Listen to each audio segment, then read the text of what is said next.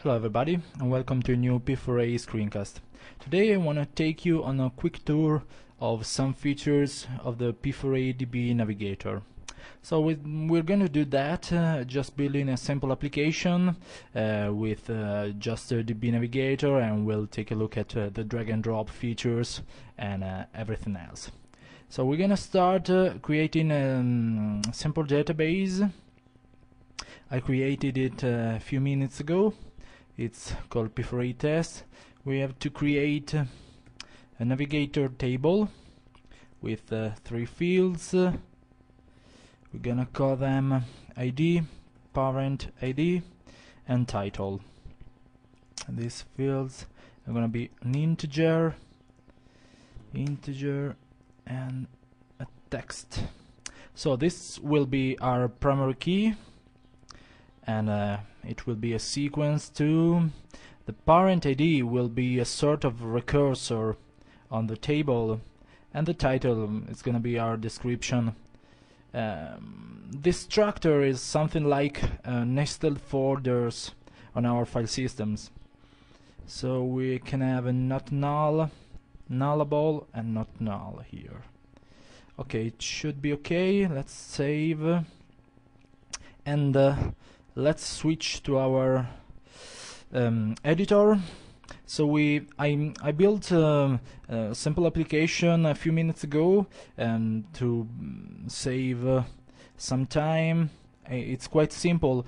Um, just have an index uh, file which um, has the P4A DSN um, definition to point to our newly created database require PHP, um, P4A, and uh, start the application. We have uh, the um, application main file extending P4A, which just open our test mask. And our test mask is um, quite simple too. Um, we have a DB source pointing to the navigator table, loading, set as the source of the mask. Mm, then we have a simple toolbar. Then we have uh, uh, some uh, the, the three fields uh, we created uh, just a minute ago. ID parent ID title anchor uh, on our frame. And and then we have our DB navigator here. So building the DB navigator is quite simple because we just have to build it set the source which will be our DB source for our mask, setting the recursor field, uh, which is uh, our parent ID. We just have to set it as a string, and uh, our description field. Then, after these few lines of code, um, I anchored um, in the top zone the toolbar and on the sidebar the navigator. And let's go to the first row because the the frame is automatically displayed on the center of our mask. Um, and this is a feature of the P4A based mask uh, you may know. Um, so we can try to launch our application to see what will happen. Okay you can see we have the toolbar as we did it. Um, in this sidebar we should have the DB navigator but uh, due to the fact that uh, we have no data in our table uh, this is empty now. And this is uh, the fields we anchored. ID, parent ID, title. Uh, you can see this is another feature of P4A, you can see that the ID field is um, automatically filled with uh, the sequence. Um, okay, we can start adding some elements. So we're gonna um, call it this section 1 and hit save.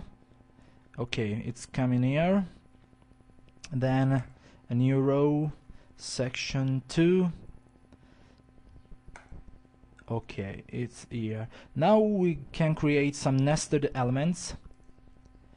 Section 1.1 and the parent ID will be 1 and save. And section new, new row section 2.1 and the parent ID will be 2 okay we here we go. We can create we can go uh, deeply in our nesting um, so we can create section 2.1.1 and the parent ID should be 1 2 3 4 okay.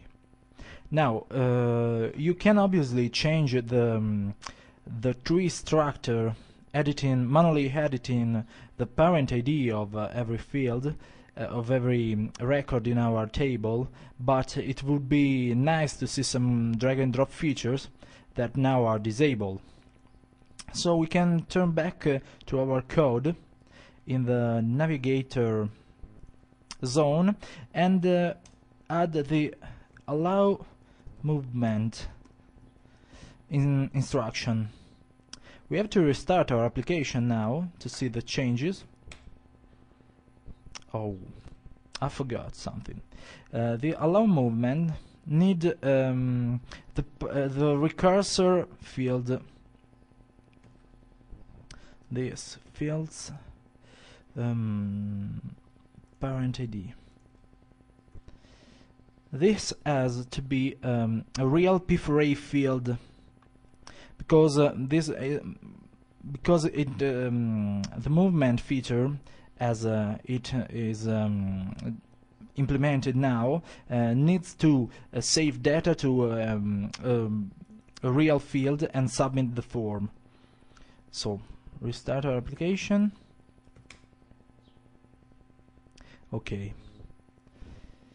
Um, we can just try to drag and drop here.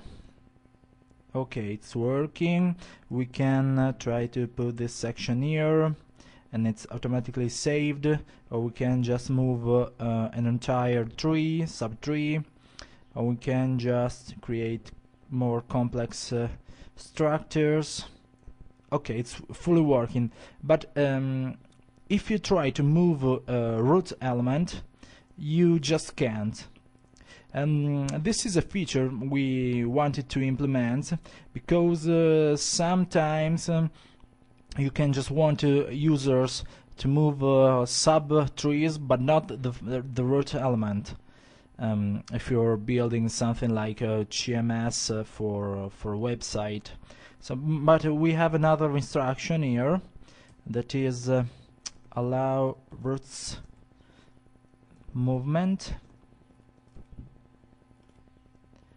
which will allow us to do that as you can see now we can drag and drop the roads too. Um, so now we can just try to move the section 1 subtree inside the section 2 it's okay. Um, but uh, we can see now that we can we have no possibility to make um, a subtree become a root section.